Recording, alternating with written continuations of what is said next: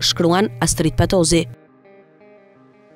Dueli sa i ashpër aq edhe qesharak për dominimin e Partisë Demokratike mes Berishës dhe Bashës ka vetëm një aspekt pozitiv me dobi publike. Mund të shërbejë si pika që derdh gotën për një kontingjent opozitarësh për të kuptuar se kjo mbyllje e shëmtuar e një raporti hipokrit mes të dyve është pasojë e një modeli të dështuar politik që duhet braktisur një orë e më parë. Kam bindjen se rruga e vetme për ta përfaqësuar atë masë racionale njerëzish që refuzojnë qeverinë, por ndjehen të zhgënjyer, tradhtuar, madje edhe të turpëruar nga kacafytja që po ndodh në Partinë Demokratike, është krijimi i një poli tjetër opozitar, që të mos ketë asnjë lidhje me atë proces rrënues që po shtyhet fort sot vetëm për motive personale. Ne nuk kemi nevojë të mblidhemi rrotull ndonjë udhëheqësi të lavdishëm sepse po e shohim live spektaklin e shëmtuar, që është në fakt humnera, ku të çon ai lloj keqkuptimi, Shqipërisë i duhet një projekt politik që të përbashkojë parti, shoqata apo edhe personazhe të jetës publike, të cilët duhet të angazhohen për një mënyrë të re të të bërit politikë, në kontrast të fortë me kryetarokracinë, sëmundjen e rëndë që po gërryen sot Partinë Socialiste në pushtet dhe Partinë Demokratike në opozitë. Sipas meje ai duhet të jetë një forum i hapur i cili duhet të mirëpresë pa asnjë kufizim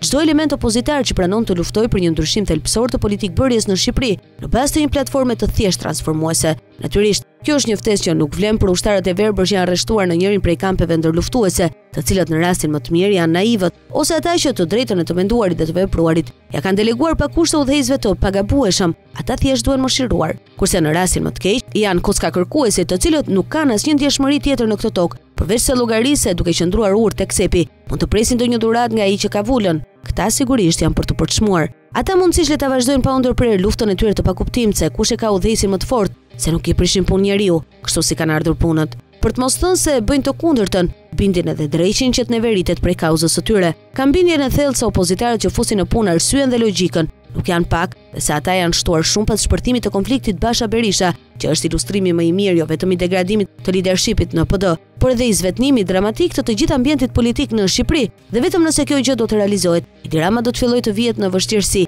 pasi në zgjedhjet e radhës nuk do të ketë përballë vetëm një humbës serial, broken leader sipas Berishës, të cilin ka treguar se e mund me shpulla sa herë që i del përpara. Pamfleti është një platformë mediatike analitike që u lind si domosdoshmëri e një tribune pa kompromis, si një zë i fuqishëm në luftën pa ekuivok ndaj krimit dhe korrupsionit politik në Shqipëri.